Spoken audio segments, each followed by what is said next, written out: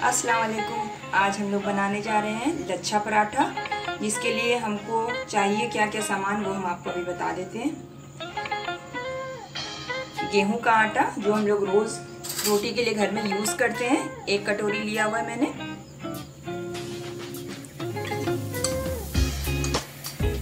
चूँकि डिनर में बना रहे हैं, इसलिए ज़्यादा लिया है कटोरी भर के, और उतना ही क्वांटिटी मैदा, दोनों को एक बराबर क्वांटिटी में लेना है।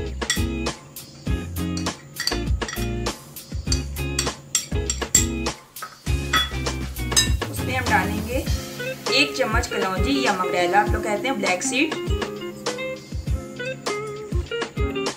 एक छोटा चम्मच अजवाइन। मैंने यहाँ पे एक चम्मच लिया है नमक। आप लोग अपने हिसाब से ले सकते हैं, जितना आप लोग खाते हैं। हम लोग थोड़ा कम नमक खाते हैं, इसलिए सिर्फ़ एक चम्मच डालना है। और इसको खस्तगी लाने के लिए, खस्ता बनाने के लिए घी, बड़ा चम्मच से एक चम्मच ये घी है। मैं इसको डाल रही हूँ इसमें। फिर इसको हम थोड़ा थोड़ा पानी डालकर थोड़ा थोड़ा पानी डालकर जैसे आटा गूंधा जाता है, वैसे गूंदेंगे इसको अच्छे से हम लोग गूंद देंगे।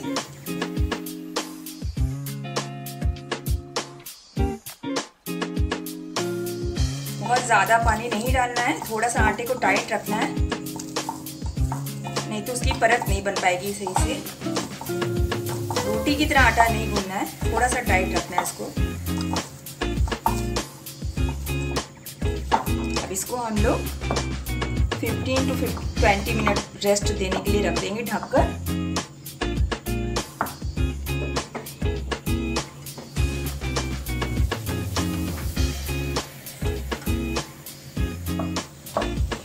ये जो मैंने डो बनाया था, वो देखिए बन के इतनी देर में अच्छा खासा एकदम चिकना हो गया है।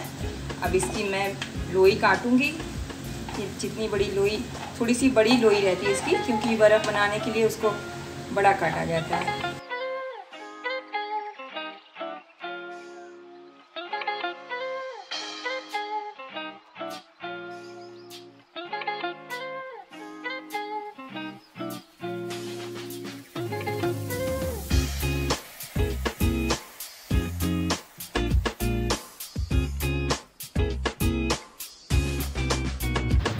इस तरह से हम सब अपनी लोई बना लेंगे। सारी लोइयाँ, जितनी हमको पराठे की क्वांटिटी चाहिए। हमने अपनी सारी लोई बनाकर तैयार कर ली है। अब इसको कैसे बेलना है और कैसे परत आएगी इसकी, परत बनाना अभी दिखाती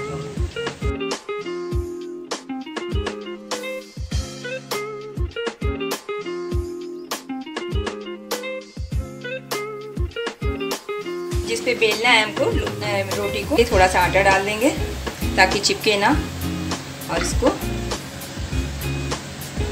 अच्छे से पतला, बिल्कुल बेलेंगे।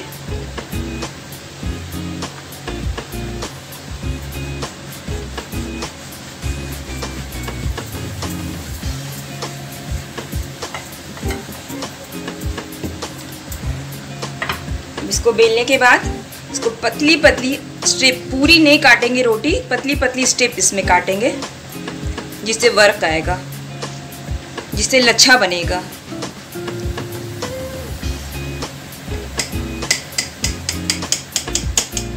अब इसमें घी रखा हुआ है मैंने। घी को थोड़ा अच्छे से लगाएँगे, ताकि सारी परत पे लग जाए। हाथ से ऐसे कर लेंगे इसको। अब सबसे मेन स्टेप इसका ये है कि इसको ऐसे करना है कि पूरा ऐसे अलग अलग अलग अलग ये पूरा सिमटता जाए आपस में। एक दूसरे से अलग भी रहे, लेकिन सारा एक होता जाए, ऐसे खसका खस के। चिपकना नहीं चाहिए एक दूसरे में।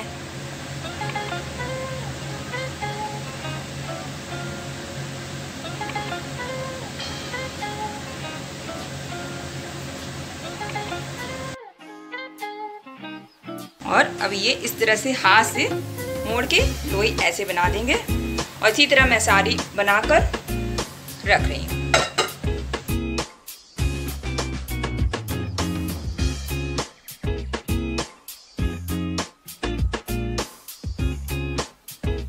धीमी धीमे धीमे हाथ से बहुत फोर्स लगा के नहीं बेलना है रोटी की तरह। धीमे धीमे हाथ से बेलना है हाँ,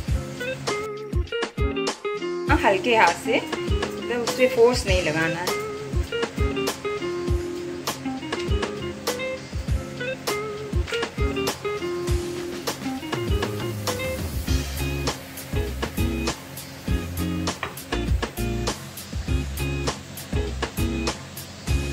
मीडियम फ्लेम पे है। अभी जब रोटी पलट दूँगी मैं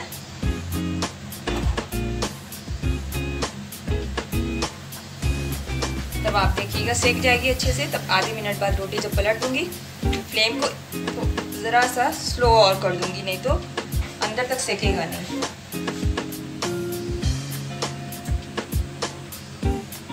फ्लेम को थोड़ा सा तेज़ करूँगी।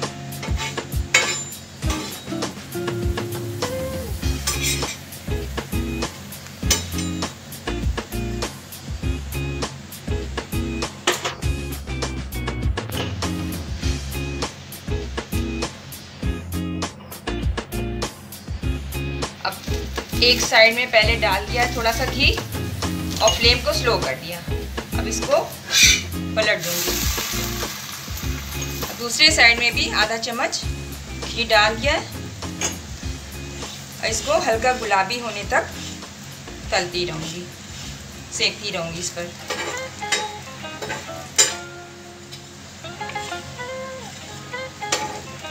मीडियम फ्लेम पर है ये।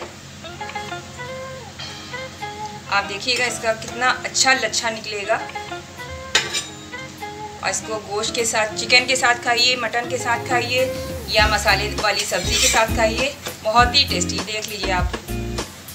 कितना प्यारा कलर आया इसका।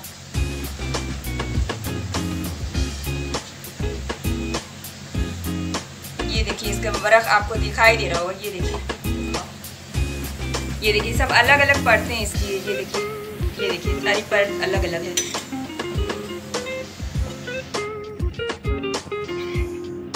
दोनों तरफ़ से गुलाबी हो गया है। एकदम खाने के लिए रेडी है।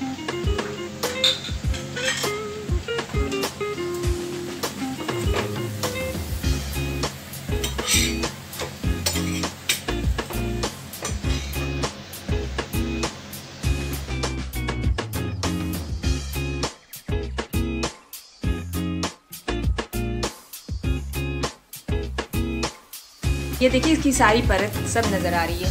ये देखिए सारी सा, सब अलग हैं सारे के सारे अलग अलग हैं। ये देखिए बहुत टेस्टी खाने में बहुत टेस्टी ये अब रेडी हो गया पूरा डिनर हमारा। बैठ के मैं अपने बच्चों के साथ जा रही हूँ खाना खाने। आप लोग भी बनाइए चिकन के साथ खाइए मटन के साथ खाइए सब्ज़ी के साथ खाइए और लच्छा पराठा का मज़ा लीजिए।